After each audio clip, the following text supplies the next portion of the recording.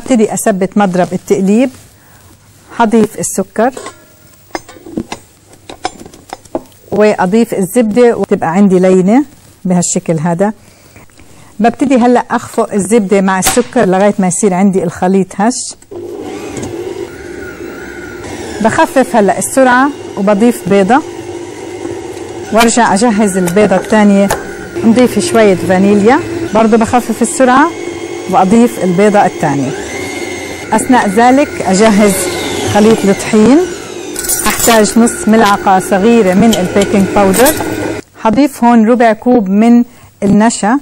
رح نضيف مقدار الطحين وأبتدي أخفق على سرعة بطيئة.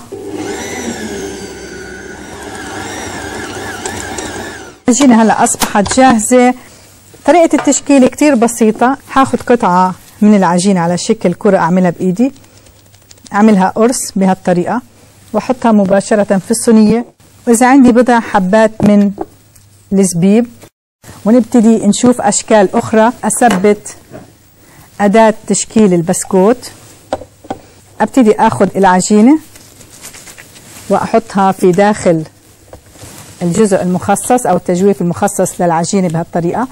تصميم هذا مثلا بقدر أحرك هالقطعة. اوصل لهذا التصميم شكله لطيف وأبتدي أشغل بهذه الطريقة. ممكن أخلي الأصبع بهذا الشكل كنوع من الديزاين أو إذا حبيت اقفله بهالطريقة بصير عندي زي الحلقة. طبعا بقدر أغير بالتصاميم زي ما أنا بدي.